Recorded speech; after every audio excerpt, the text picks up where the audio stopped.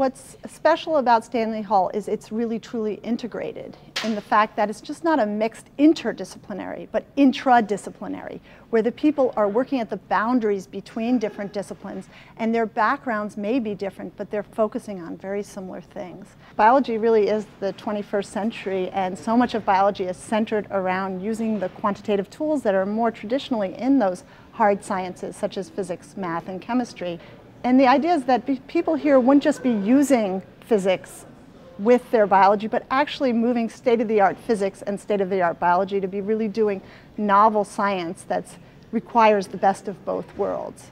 So I think there was a lot of discussion about how could the science drive the design of the building, but how could the design of the building drive the science? And we really uh, leave behind the way we usually think about doing things in our individual departments and just do them the way the science is driving us to do them in this building. Before we were in Stanley Hall, the professors were spread out all over campus. Uh, and a lot of the lab facilities were off campus. So trying to bring together the expertise and the lab space and in some cases multiple lab spaces to kind of integrate these things was very difficult. If a student came to me and said, um, I would really love to do X for my project. Um, I would very often have to say no.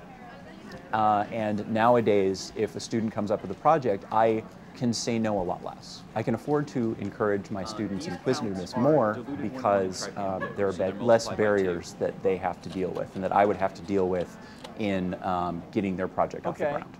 I have published one paper with a grad student since I came here and I'm probably on the road to publish another just because I'm available so people can come to me with questions.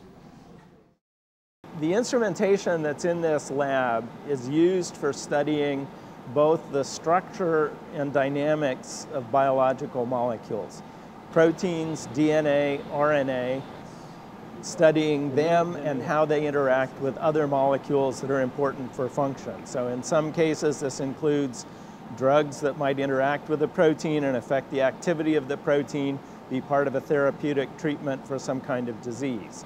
Nature gave us very small magnetic moments in the nuclei of many atoms in the molecules. And those little tiny magnets in the nuclei interact with a strong magnetic field. We put the samples into the very strong magnetic field and the interaction allows us to understand both the structure of the molecule, that is how the atoms are arranged in three-dimensional space, and how they're moving. And from that combination, we can understand how they're carrying out their function and how they interact with other molecules. Having this generation instrument, really the, the highest available magnetic field, the highest resolving power, allows us to push into biological problems that are very complicated and really address questions which are at the state of the art in terms of biology. So this facility, new Stanley Hall, new instrumentation, really allows us to address problems that a few years ago we couldn't begin to tackle.